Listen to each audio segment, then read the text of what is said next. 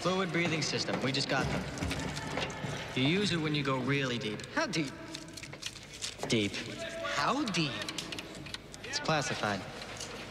Anyway, you breathe liquid so you can't get compressed. The pressure doesn't get you. You mean you got liquid in your lungs? Oxygenated fluorocarbon emulsion. Bullshit. Check this out. Uh, can I borrow your rack? What, what are you doing? Hey, hey, hey, What, no, you're no, no, no, gonna- no, no, no. You're gonna kill her!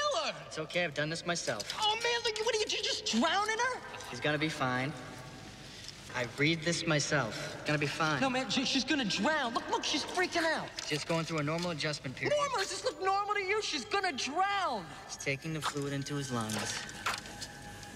He's taking the fluid into his lungs. There he goes. Still has a bit of anxiety here. Now he's starting to relax. He's breathing fine. See his chest moving? Getting plenty of oxygen. Damn rat's breathing that shit. That is no bullshit, hands down, the goddamnest thing I ever saw. See, the fluid's harder to push in and out than air. It's, it's a little more work to breathe. But he's doing fine.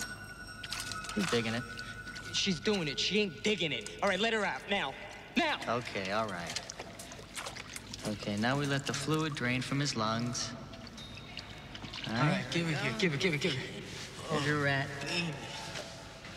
See, he's fine. It's a she. Going over the wall. Coming to bearing 065. Flatbed, you online? 10-4, Lindsey, we read you loud and clear.